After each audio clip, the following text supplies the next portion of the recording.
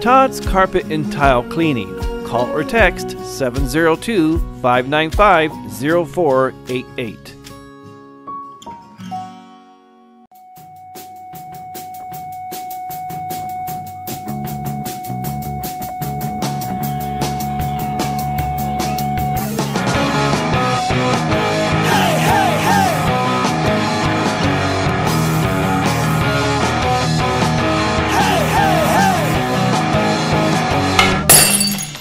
Time now for your News 25 look at sports and streaming at kpvm.tv.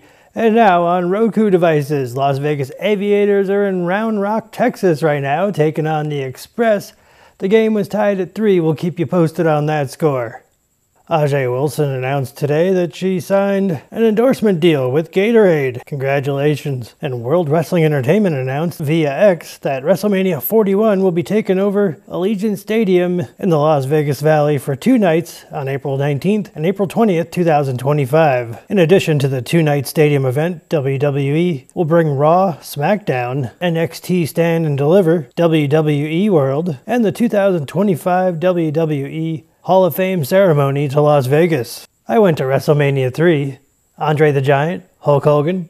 Pahrump Valley Trojan varsity baseball is heading to Mater East Academy. That game is in progress as part of day two for their regional playoffs. And Pahrump Valley Trojan softball is in Virgin Valley today for their second playoff game. That game is also in progress. And that's your look at sports on News 25.